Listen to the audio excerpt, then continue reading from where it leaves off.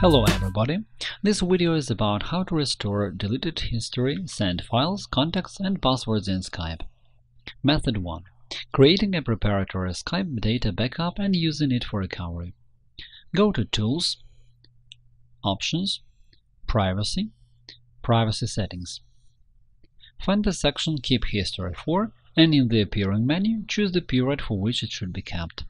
Select Forever and click on Save. Now the chat history will be saved always and in full. In order to back up entire chat history, sent and received files, do the following. Close Skype. Go to the folder C Users, Username, App Data, Roaming, Skype. This folder keeps all Skype data, including all accounts that logged in Skype from this computer. The ideal option would be to create a backup copy of the entire folder. Copy these files to a flash drive, for example,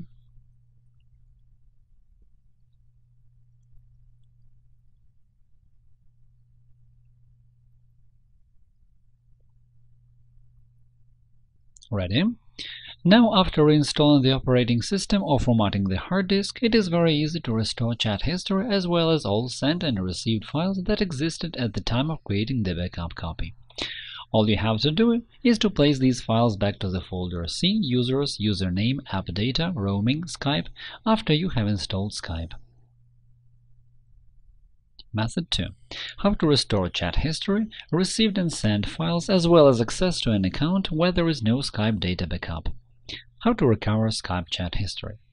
After reinstalling the operating system or the application itself and when starting for the first time, Skype automatically downloads a part of its chat history and user data that is stored in the cloud.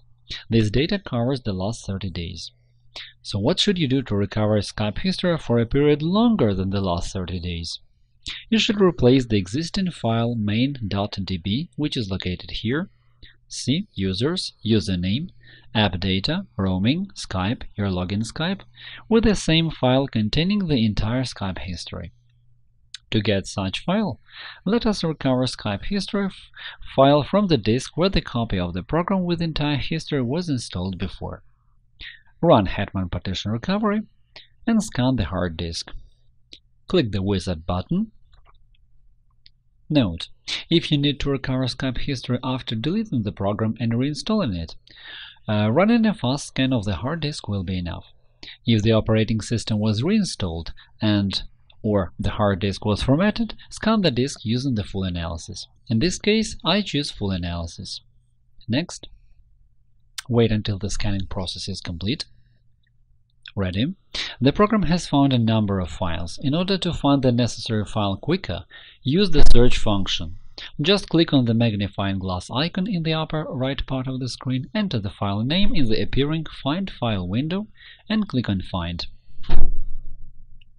Ready? In my case, the program shows several files with the name main.db, and I choose the one having the oldest date of creation and recover it.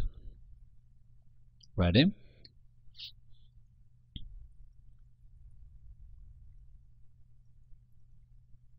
Now go to the folder C Users, Username, App Data, Roaming, Skype, your login Skype, and replace the existing file main.db with the recovered one.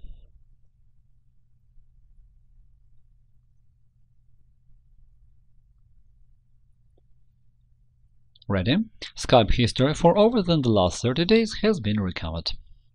In the same way, you can recover files received and sent via Skype. You will have to follow the same steps, but instead of the file main.db, you should find and recover all files received or sent with Skype, or a particular file that you are looking for. Note: You have to know the names of files from the chat history that you need to recover.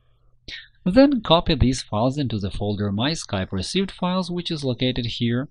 C Users, Username, App Data, Roaming, Skype, My Skype Received Files. This way, Skype chat history will, will show sent and received files which were lost because of reinstalling Skype or Windows or formatting the hard disk. How to recover access to a Skype account If a password or even login to a Skype account was lost or forgotten, access can be restored like this. Before that, you should adjust the program settings to allow Skype run automatically, without checking the login and password, and then Skype will start in the common mode.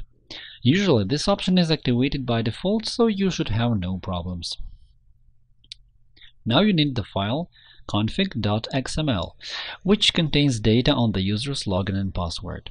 You can get this file from a backup copy, and in the first part of this video I showed how to do it.